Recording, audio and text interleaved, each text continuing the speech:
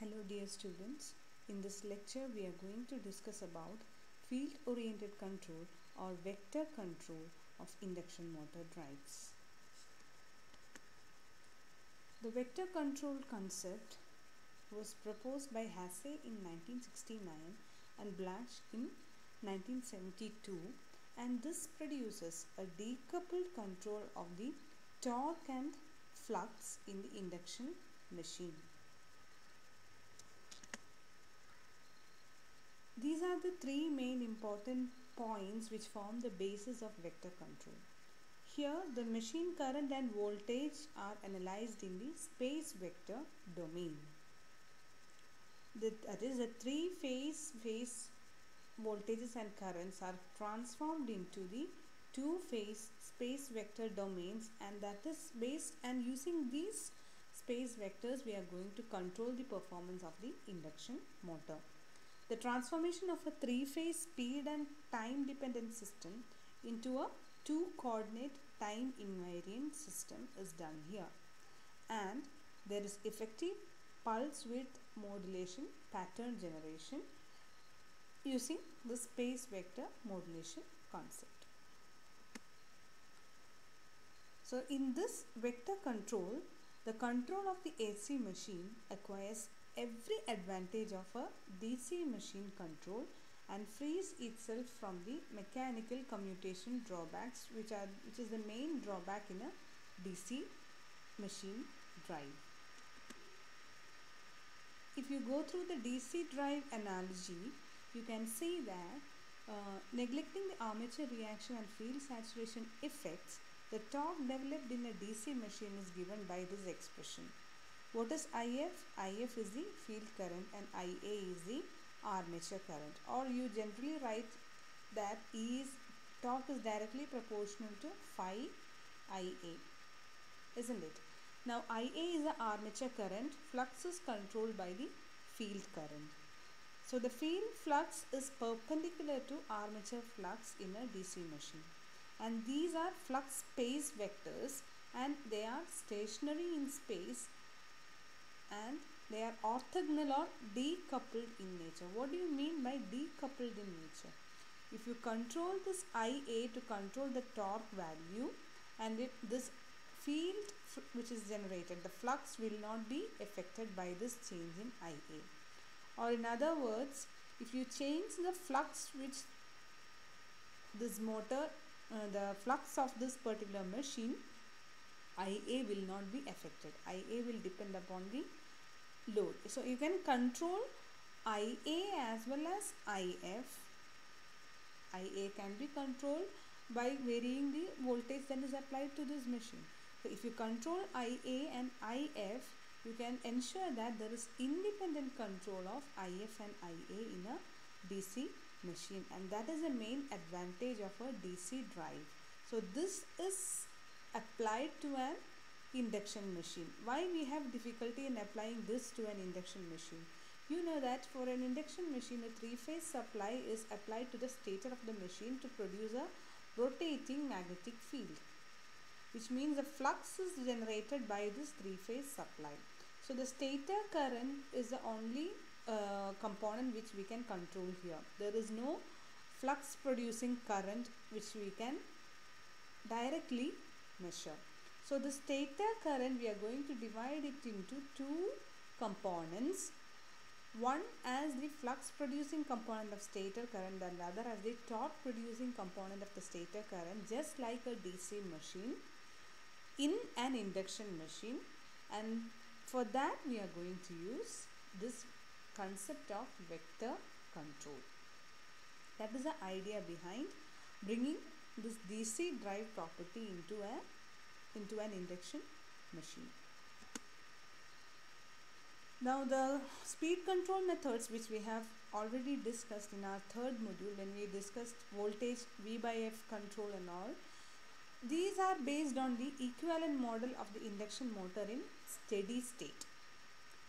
And uh, we saw that these methods, the volt, volt hertz method for example works very well for slowly changing loads such as fans or pumps. but it is less effective when fast dynamic responses required. So in particular, the you can see high current transients can occur when there is a rapid change in the speed of speed of the machine or torque requirement of the machine. And in scalar control, you are varying the magnitude of this voltage and frequency. So these high currents which occur during transient periods are a result of the high slip factor that occurs during the change. So fast dynamic response can be realized without these high currents if both these torque and flux are controlled independently in a closed loop manner. This purpose is accomplished using vector control techniques and this vector control is also commonly referred to as field oriented control of the induction motor. So that, that is what I said. The traditional control methods like volts hertz control method control the frequency and amplitude of the motor drive voltage. In contrast to this, the vector control methods control the frequency, amplitude as well as phase of the motor drive voltage. Ultimately after this control what are we applying? We are applying a particular modulated voltage to the machine induction machine. So this the references to this controlled voltage source inverter is produced after vector control algorithm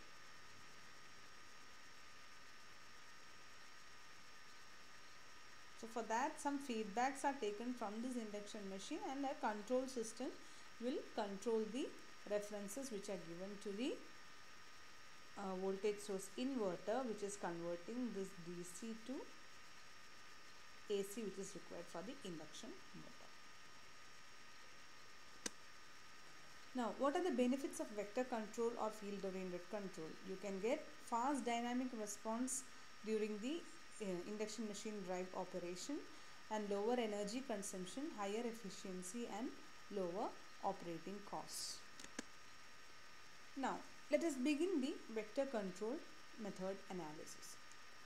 Before we go in deep into the vector control, let us review a fundamental concept or let us uh, think about a perspective to see, view the rotor flux and stator flux.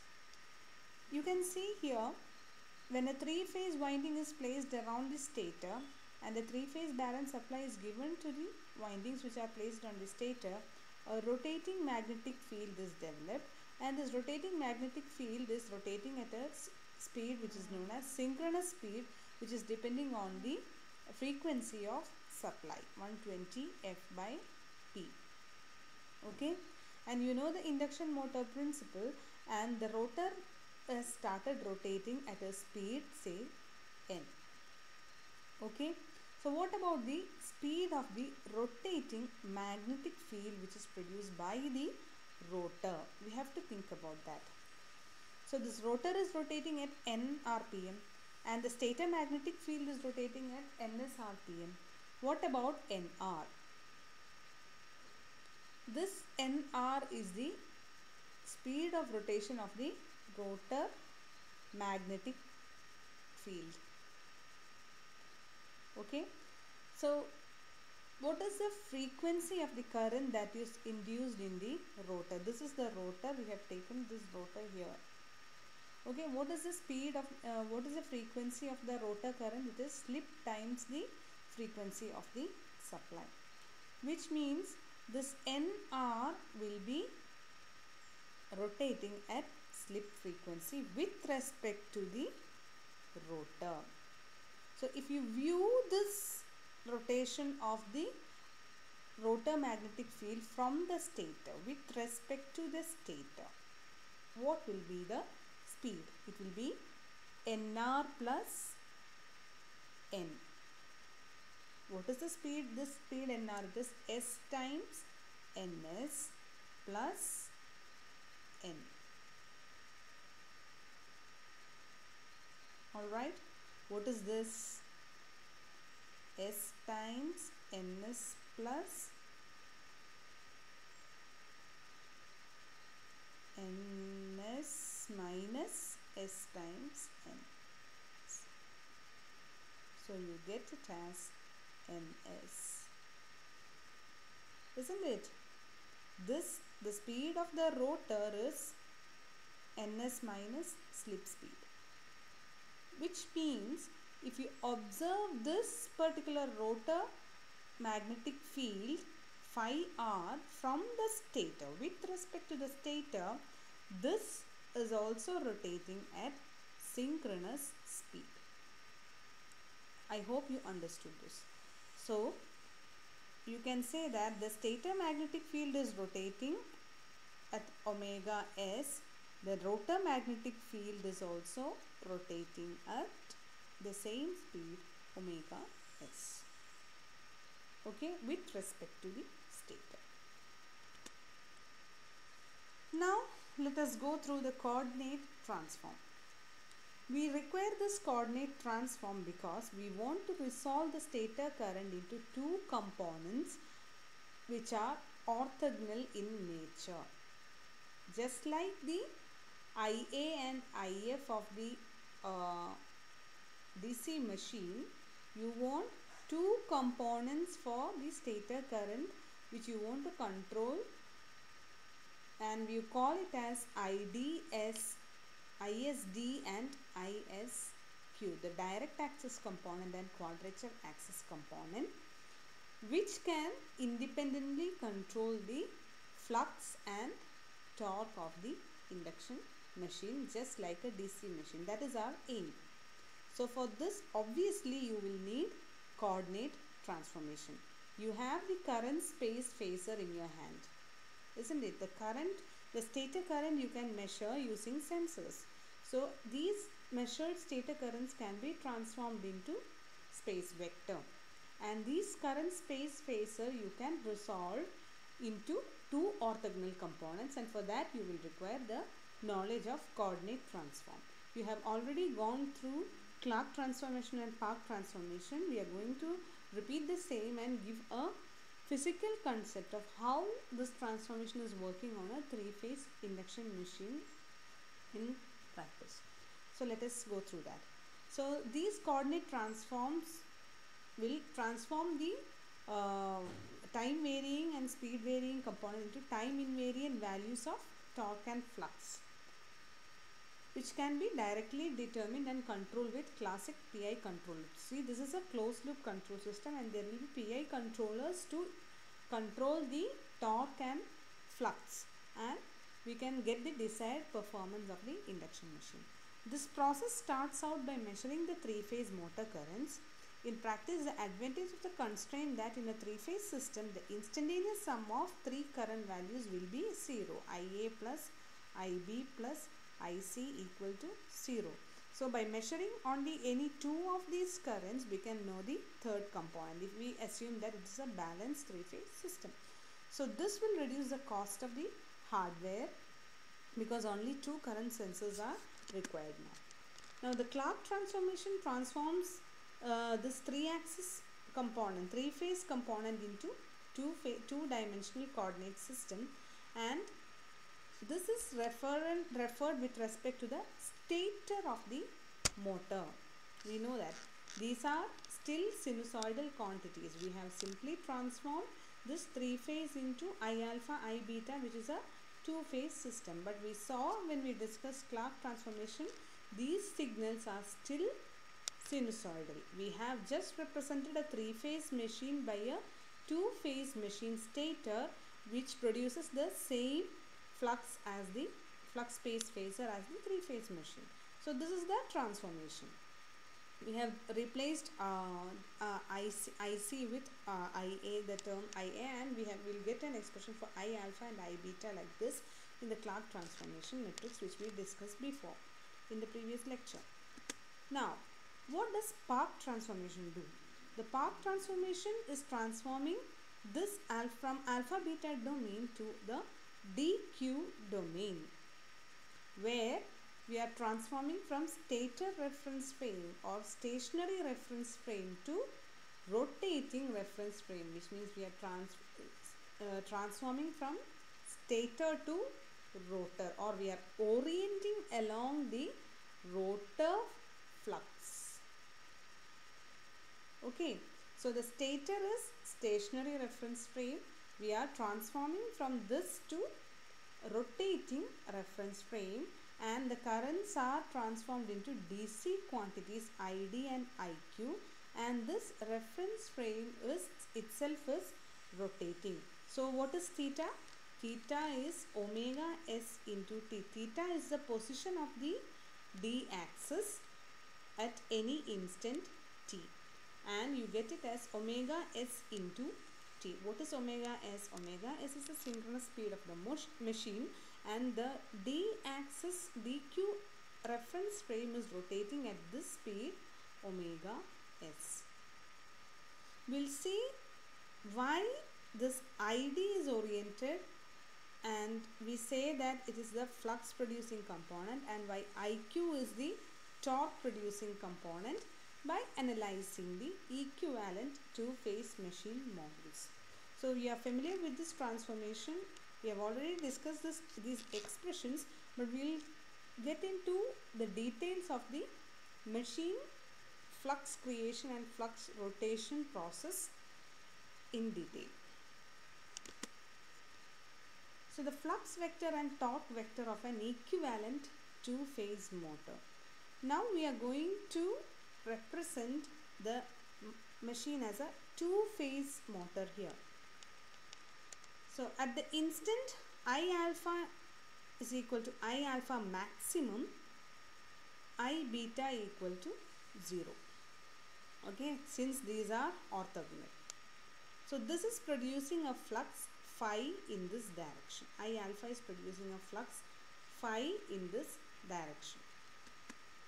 Now we are replacing the coils alpha and beta with two fictitious coils D and Q.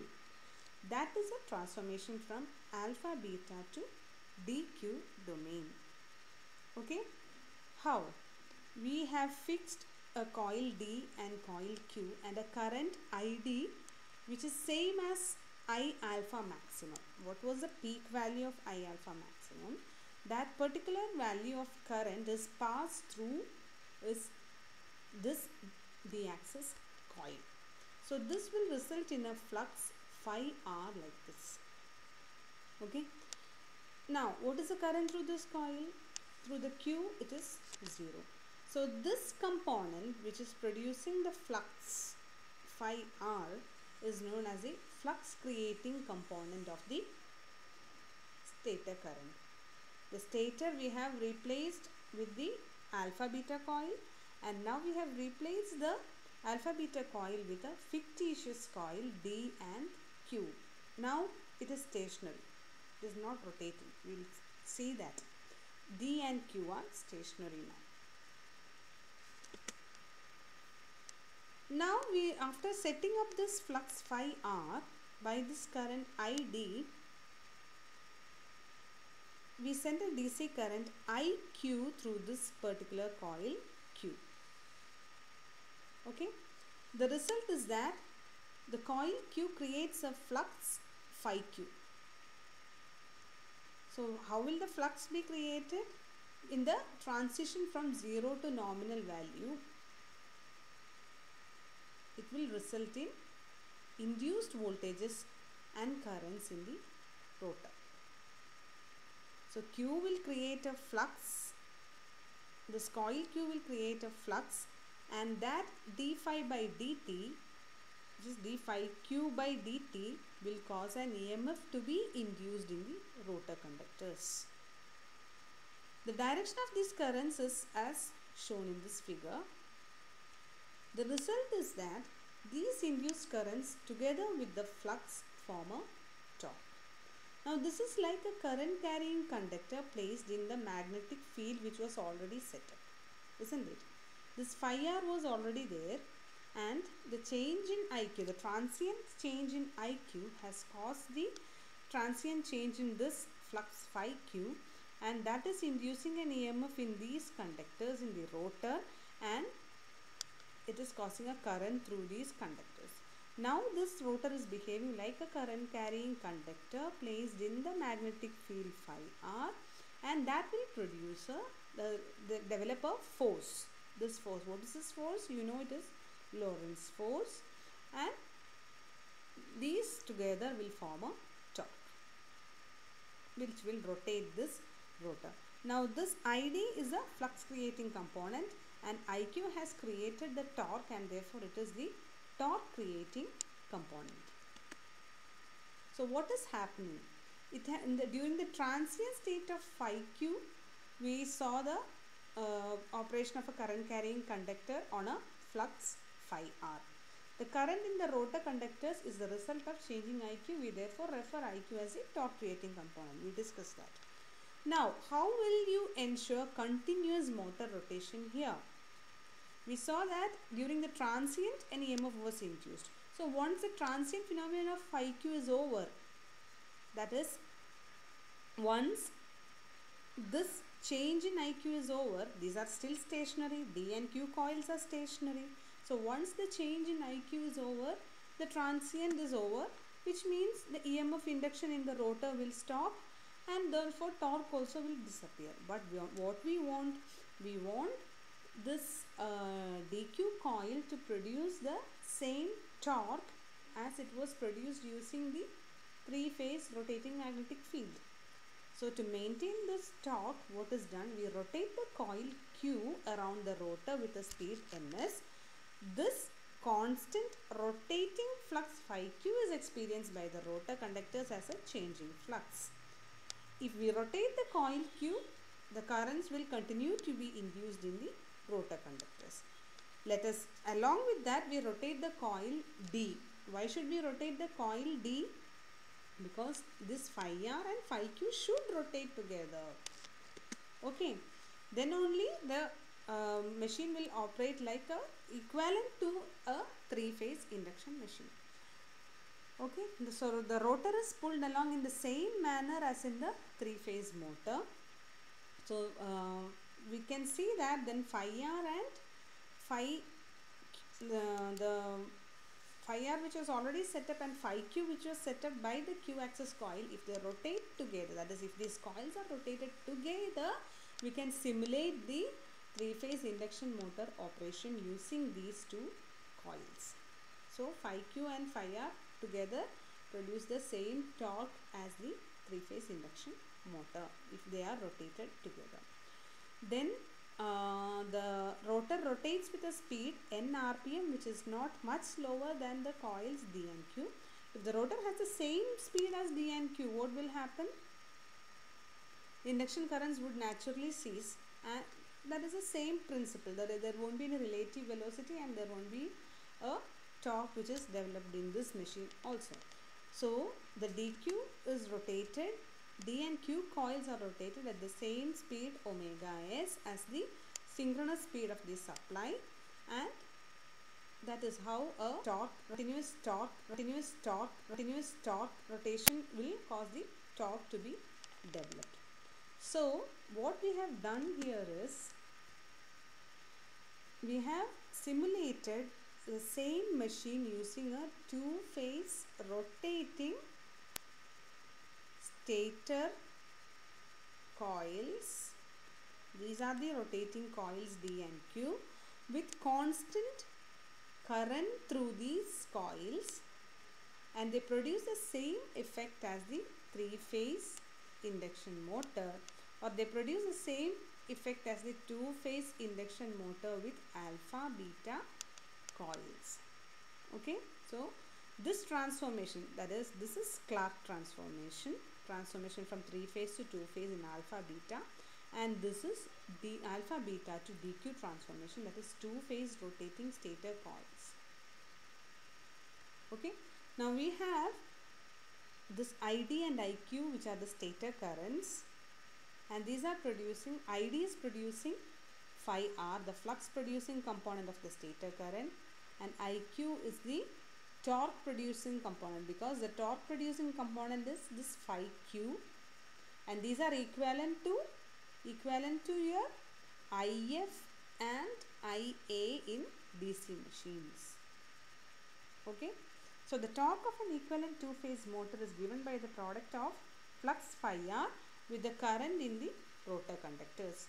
This current is proportional with the flux phi q and therefore the current iq. Or you can see the expression here.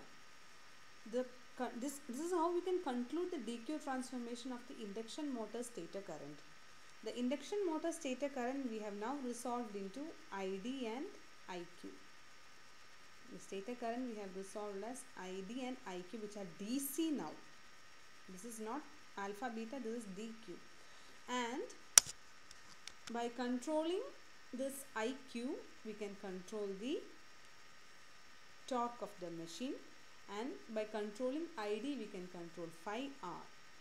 So you get this expression which is similar to this MEM is electromagnetic torque TE itself. Here you see this is the expression for DC machine. We saw K, this phi is proportional to IF. Now by controlling the current IQ, we are able to control the torque and by controlling the current ID, we are able to control this flux phi R. The flux creating and torque creating components of the fictive, fictitious coils D and Q are in reality obtained from two variable sinusoidal currents I alpha and I beta in the real coils of our two-phase machine. So I alpha and I beta are the are real coils. That is we have replaced three-phase coils by two-phase alpha beta coils. This can actually be physically you can make a machine like this. You can actually make a three-phase machine as well as a two-phase machine in uh, reality. But the DQ is something which you cannot create in reality. These are fictitious. These are just math. You are analyzing. We are uh, what do you say? You are imagining two coils which are taking DC currents, and we are we are we have converted from alpha beta to that imaginary domain which is rotating at the same speed as the synchronous speed of the machine, the supply of the rotating magnetic field. Now these coils are fixed on the stator. So this alpha beta are in reality and this is the alpha axis and this is the beta axis. Okay. So this is the picture which I gave when we studied three phase to two phase. We have alpha coil here and beta coil here. From this now we have moved to DQ domain. Okay. Now a rotating field in the stator has an angular velocity omega s. As with the three-phase motor, the rotor is pulled along with a speed n which is less than ns. The rotor speed is less than the uh, synchronous speed. Now the rotor has a rotor flux phi r which also rotates at omega's radians per second. We discussed that. The rotor flux also rotates at the synchronous speed similar to the three-phase motor. If we now allow the fictitious coils D and Q and therefore the DQ coordinate system to rotate with the rotor flux phi r, we can get the following figure.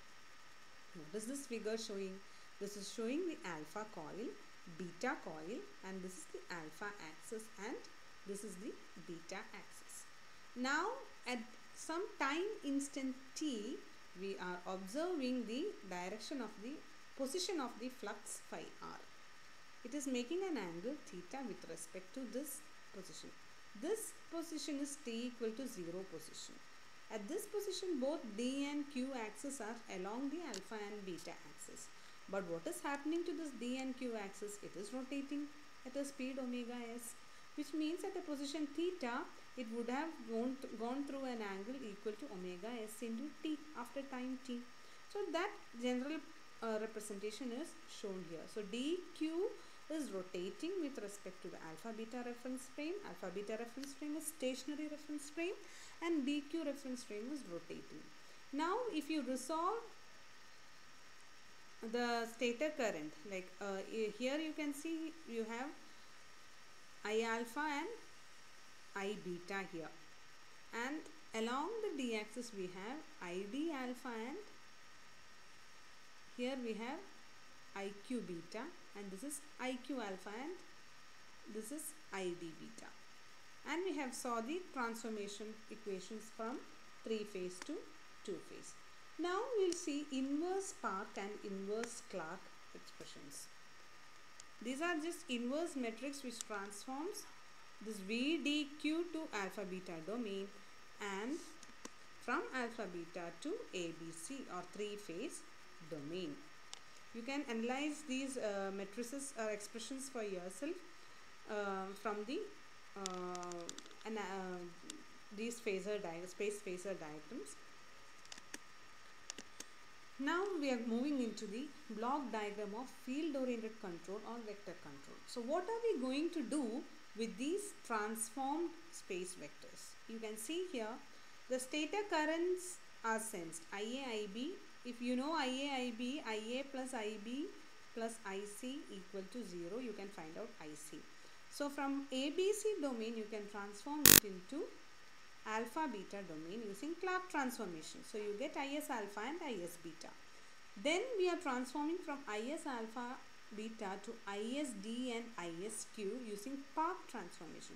But Park transformation will require an additional information which is the value of theta. We'll see how theta value is computed but not in detail because it is beyond the scope of our syllabus. Now this I will just conclude this uh, block diagram explanations. So this ISD and ISQ are compared with the ISD reference value and ISQ reference value and using a PI controller we are going to generate the VSQ reference and VSD reference which are give, given to the space vector modulation block but after transforming it into Vs alpha and Vs beta reference using inverse Park transformation. This will also require the value of theta. So from dq domain it is transformed to alpha beta domain. Now this is the space vector Is which is the reference to sorry Vs which is the reference to the space vector modulation block and the VA, VB, VC reference uh, voltages are applied from the inverter. This um, these references are given to the inverter. Control PWM signals are given to the inverter, and from the DC you are getting the respective uh, three-phase voltages which are applied to the AC motor. Next, we'll see how we get the angle theta and these reference values ISD ref and ISQ ref. To determine these imaginary currents mathematically, we should know the amplitude and location of the rotor flux at every instant. So the rotor flux can be estimated, the position of the rotor flux. We saw theta is the angle or position of the rotor flux. This can be calculated from by direct calculation from voltage and current measurements on the stator side. In addition, a number of motor parameters will be required. Okay. There is also indirect calculation from the slip of the machine. From the slip measurement, uh, uh, for this slip measurement is required which will use an encoder or tacho generator on the motor shaft and the rotor time constant also has to be known. What is rotor time constant? It is depending on the inductance of the rotor and the resistance of the rotor. But we are not going into the details of these. I am just showing the block diagram of direct calculation of flux. This is using the data of the motor. What is the value of LR, LS or induct stator inductance, rotor inductance, rotor reactance, rotor uh, uh, stator rotor resistance, stator resistance, etc. Sorry, RS, etc. And we are modeling the induction machine and that is this block. Okay. And from the induction machine model, the references for the theta will be uh, found out that is the position of the rotor flux and the value of phi r the rotor flux magnitude will also be found out using the model of the mathematical model of the induction machine. A detailed uh, discussion on the mathematical model is beyond the scope of our syllabus. So just understand that using the direct calculation of flux, this I have just shown the direct calculation method here we are computing theta and phi r. So this theta and uh, phi r which is computed is used somewhere else. Theta is used for the transformation or for the Park transformation and you can see phi r is used to in the comparison here the flux reference is given here and torque reference is given here so you are independently controlling the torque and flux here so these references are given here and flux which is the rotor flux is measured and phi r reference is compared with the uh, measured flux and the control block PI controller will produce the d-axis current reference and the uh, torque control uh, block that is torque comparison and the PI controller will produce the ISQ reference. So these are given as the references here in the block diagram of the vector control. ISQ reference and ISD reference. ISQ reference represents the uh, torque component and ISD reference represents the flux reference component and there was an outer loop which compared the flux which was which was estimated from the induction machine and theta is also estimated from the induction machine and you are implementing the whole vector control concept here. So what are the steps one by one? The three phase stator currents are measured. This measurement provides IA, IB and IC. The rotor velocity is also measured. So that depends on direct whether it is direct control or indirect. The three phase currents are converted to a two axis system. This conversion provides the variables IS alpha and IS beta in alpha beta domain. The two-axis coordinate system is rotated to align with the rotor flux using a transformation angle theta where theta is the displacement angle of the rotor flux at instant t with respect to the stator reference axis which is the alpha axis. So the two-axis coordinate system which is a rotating system is generated here that is ISD and ISQ variables are obtained from IS alpha and IS beta. ISD and ISQ are quadrature currents transformed to the rotating coordinate system. For steady state conditions, ISD and ISQ will be constant. These are DC quantities. We have transformed the rotate uh, the stationary reference frame or stationary coordinate system to rotating coordinate system which is rotating at synchronous speed and it is aligned at an angle theta which is varying with respect to time. Error signals are formed using ISD, ISQ and reference values for each. What are the reference values? ISD reference and ISQ reference. These are the reference values which are generated from the torque control and uh, sorry, torque control and flux control blocks. The ISD reference controls rotor magnetizing flux and ISQ reference controls the torque output of the motor. The error signals are input to the PI controllers. The output of the controllers provide VSD ref and VSQ ref which is a voltage vector, vector that will be sent to the motor. How is this VSD ref and VSQ ref processed?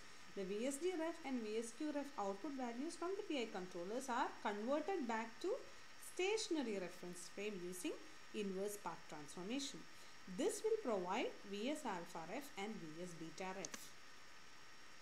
So from the step number 8 you have got Vs alpha ref and Vs beta ref and these are given as reference to the SVPWM inverter and the inverter output voltages thus obtained are applied to the induction motor. So to conclude what is done here we are taking the current we are sensing the stator currents or the three phase stator currents converting them to alpha beta domain. And along with that we are computing theta the rotor flux position with respect to the stator axis or alpha axis and we are transforming it into dq domain. And in the dq domain we are comparing with the reference so the reference signals are independently controlled. So ISD ref and ISQ ref will control the torque and flux of the machine. This will control the flux and this will control the torque of the machine independently just like the uh, DC machine. We have seen how you represent a three phase machine using two phase alpha beta coils. This is uh, a you have abc coils here. And again you saw how we transformed it into dq coils which are rotating coils with dc currents. These are stationary coils with ac currents in them. These are rotating coils with dc currents. Okay? And using the references we are controlling the induction machine operation by producing which references? The voltage references in dq domain. That is vsd reference and vsq reference. So why have we transformed to dq for the orthogonal for the decoupled control of the stator currents? But to apply the voltage to the induction motor from dq you have to transform to again to alpha beta and this alpha beta if we get it we can easily implement SV PWM uh, of the inverter and give the voltages apply voltages to the induction machine VA VB and VC to the induction machine. So with this I conclude the vector control of induction machine.